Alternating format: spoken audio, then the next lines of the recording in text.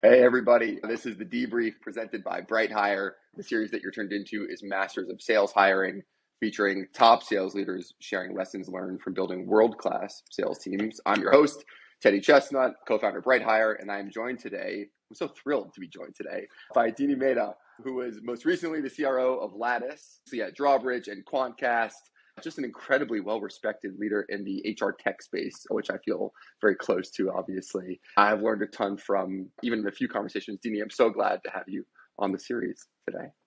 Thank you, Teddy. Super excited to be here. Love talking about all things hiring and HR tech. So, very excited to be here. Awesome. Uh, well, we are going to jump right in and talk about your time at Lattice. You joined as employee number what? Like 38. Lattice? Late thirties. Yeah. Late thirties. And and when you uh when you swan songed out of there, what the the team had grown uh, the revenue grew like 33x. The team had grown 20x. What a crazy ride to be on. Uh, uh, before we get into hiring and building teams, I'm just curious on your reflections on that ride. What went well? What were you most like? What were you most proud of as you as you grew with the team from such an early stage to to such scale? Gosh, it's it was it was such a fun ride. Um, it was hard and some really tough days and quarters and months, but overall, when I reflect back, I'm just filled with gratitude. Um, and it was so fun building a different type of sales org. I went to Lattice to see if you could build a different type of sales org, and I got the opportunity to do that and do it with a bunch of amazing people that were so mission aligned. So yeah, I feel very lucky to have to have been part of that journey with some amazing people. When you say a different kind of sales org, tell, tell me about that. What do you mean? I mean, I was, you know, I, I like fell into sales. I grew up in India, moved to Kansas for college, so came here on a student visa. The plan was to become a doctor and an engineer, uh, or that that's what my parents' plan was. And uh, I fell into tech and definitely tried to fight sales for the first few years because I had this negative impression of what mm. it meant to be in sales. And so when I got in it, I, I didn't see a lot of people that looked like me. I didn't feel like I belonged in the first few years when I was in sales. Mm. And over time, that became my why was to help change the perception because sales is amazing. There is, I, I love it. It's objective, it's data driven. Um, and so I wanted to build an org where a younger me would have felt more comfortable and mm. it would attract tons of different types of people. So change that sort of impression that still exists in the world that it's about lying, it's about pressure tactics, uh, when in reality, that's not the truth.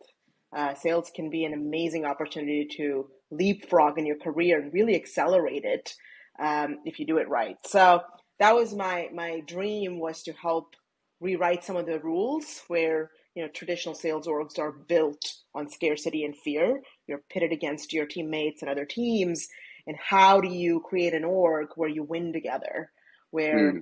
where where you're all in it together? Yes it's a competitive sport but it's also a team sport. And so that was my hope when i joined lattice and i feel very lucky to to have had the chance to build something with great people. I love that. How did that orientation as you got the opportunity to build the team influence how you approached hiring? The profile the interview process your sourcing like you, you talked about a couple things, right? The nature of the culture, collaborative versus yep. competitive, the the diversity of the candidates, right? People who came from all walks of life and different backgrounds. Yeah, tell me about how that influenced the, the hiring process. I mean, it influenced everything. It was the center of culture and people were the center of everything. Uh, center of our revenue growth strategy, of our company strategy, and I think the alignment um, across the exec team and uh, the revenue team eventually as we started to scale was critical in achieving that. Is like at the mm-hmm. end at the center of it it's about investing in our people and building an inclusive culture that's going to win in market. Because i love winning but i also love building collaborative teams that do it together. And so both of those things were super critical. And i you know the, the team you build is the company you build. Mm-hmm. and it's everything. And so early days there's you know there's sort of a different lens to it later days you're starting to scale the things that you know work really well but um, yeah, it was it was at the center of everything we did. Were there any tactical things that you did differently as you built the team at Lattice versus perhaps hiring elsewhere that helped you realize that aspiration to build a different kind of sales org? Like questions that you asked or exercises you put folks through? Like if we were back, back riding along in the interview process, what would we have experienced very tactically that you did differently? Yeah, it's a great question. Um, I think from the first hire I made, we we we categorized the competencies and we built competencies way early. When we were like nine people, we had competencies, which was you know super early. Typically, people don't think about having competencies till you're like 30, 40 people in an org, and so we did it early because we wanted to be objective and thoughtful about our hiring versus. Mm. It's very easy in startups. There's so many things going on. You go with gut instinct, and you can fall trap to to to hire um, to not hire for what you need and hire for what you think you want. And so um, I we built competencies early on and we categorize them between functional expertise categories and then we've got the values competencies. And so hmm. really being thoughtful and you know first hire the functional piece mattered less early on which actually is a trap. A lot of folks, I think, overvalue the domain expertise.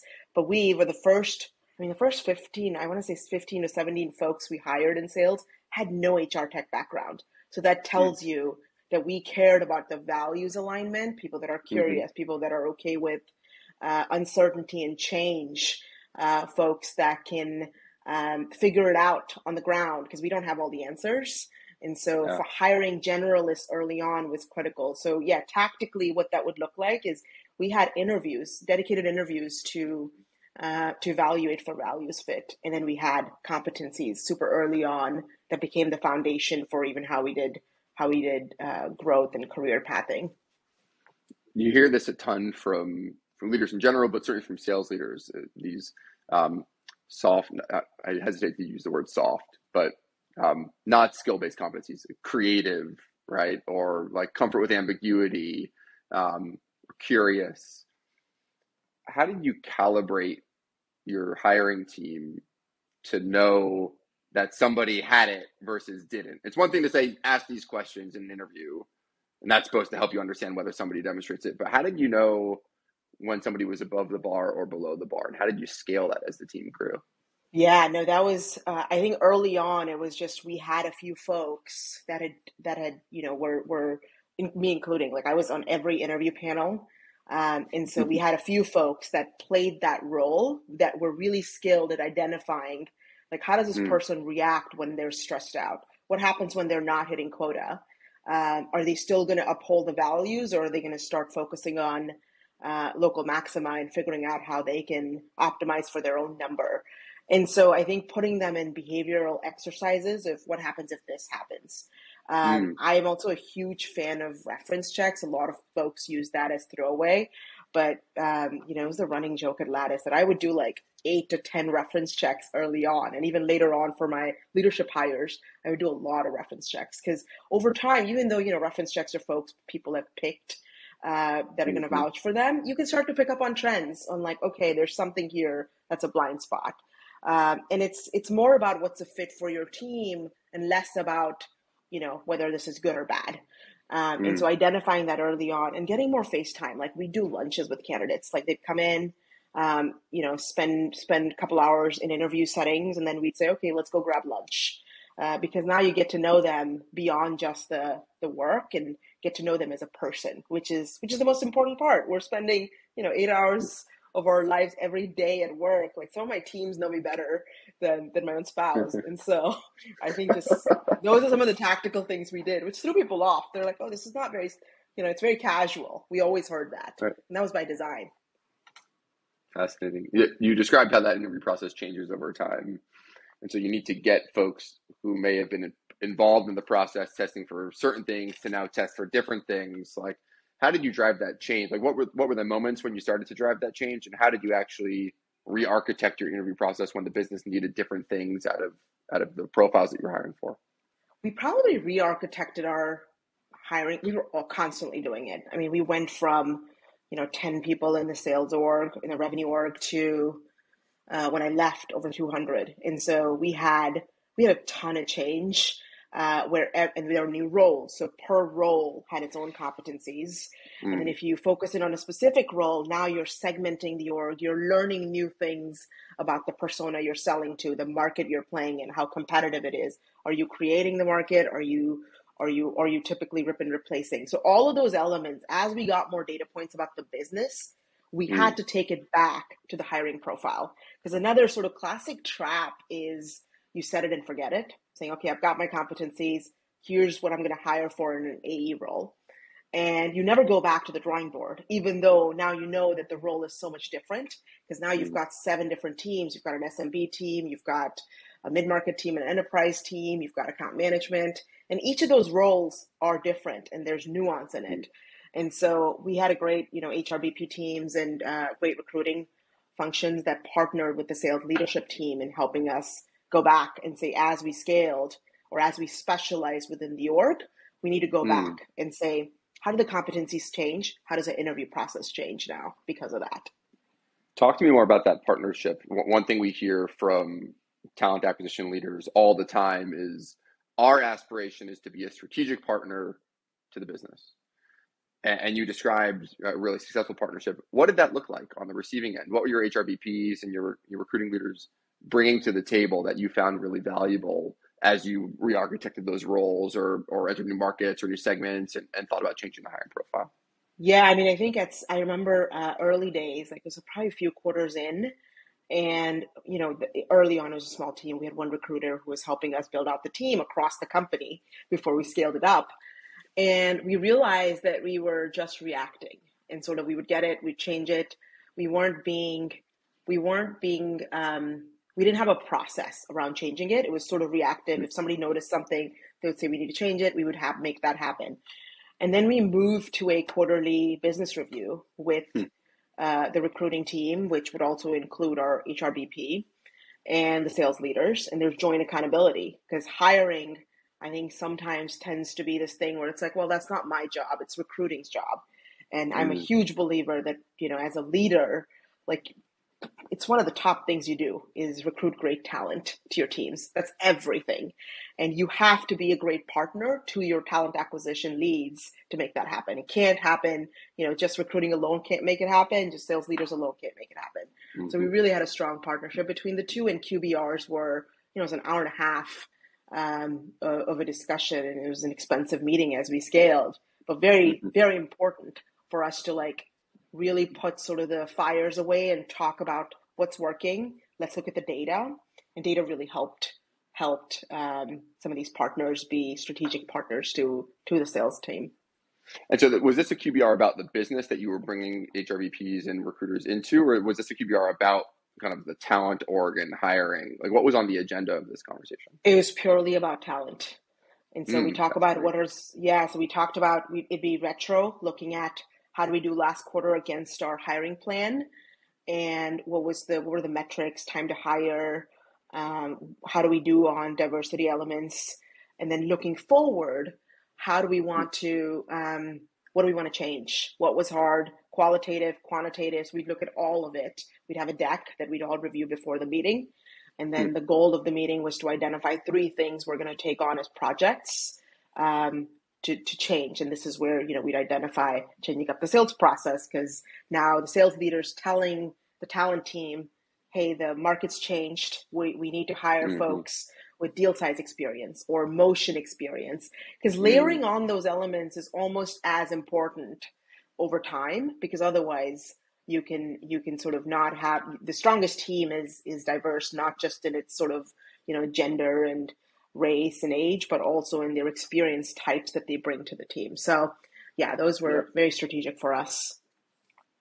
I'm sure those qbrs uncovered mistakes that you made along the way. Um, what like lessons learned when you're building a sales team things that tend to go wrong you know easy uh, you know, you know pitfalls for for folks to fall into uh, that if they're really conscious about it they can avoid yeah i mean i think one of the classic traps is overvaluing domain expertise or shiny mm-hmm. logos on resumes um, especially if you're a startup where you're like okay and it makes sense you're like i want to hire someone who's been at this large company and been really successful there because they've been trained, they know our market, I just want to hire them and they're going to do great here. That assumption is, you know, I think it can lead to a lot of challenges if the person, because the resources are different, this, the, the brand value at that big company is so different. And so mm-hmm. overvaluing mm-hmm. domain expertise and shiny logos and undervaluing the competencies that you need and your company values that you need to hire for. So that that is like one of the classic traps. Like I've made that mistake in the past. I see so mm-hmm. many founders you know, overvalue that I need someone from Salesforce and you know, it's the it's the startup of Salesforce. You know, no offense to Salesforce, a great company. And sometimes it works, but a lot of times you want you want to make sure that you're really being thoughtful about your market, your company, your persona.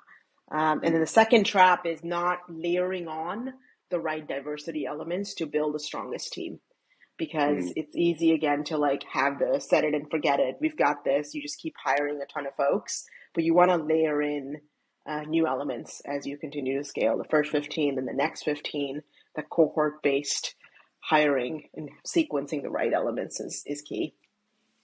One of the things that uh, I'm sure you're proud of is like very low uh, voluntary attrition over the course of your tenure at Lattice, like maybe 2% or something like that. Um, obviously, that part of that's getting hiring right, uh, and part of that's uh, giving space to grow and develop and and expand your career and making the right investments in retention over time. To talk to us about uh, the things that you feel like you did really well in order to, to get to that outcome. Yeah, I mean that is that is something that I'm most proud of is is the is the low voluntary attrition that we had over the four and a half years I was there.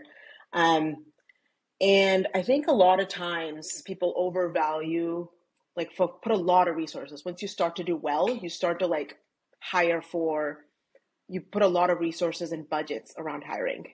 Mm. and you undervalue retention, which is such a key lever. Like I think um, HubSpot does this study where the annual turnover for sales orgs is 27%. And it's like the average tenure is 18 months. It costs you 150% uh, to replace a sales rep's salary, or 150% of a sales rep's salary is the cost to replace them. So it's expensive mm-hmm. to not invest in retention. Um, and so, yeah, we we were very intentional about how do we, as we start to scale, how do we create processes and structure infrastructure where we can um, align the individual growth to the company's growth. And career pathing mm-hmm. is a great core element of that. You know, I believe that everybody wants to do meaningful work and even sales, quota carrying sales reps. And meaningful work is made up of growth community, and purpose. And mm. growth is such a key pillar for that. Um, and so, yeah, I'm, I'm, you know, how do we, we did a lot of things and, and career pathing was one element.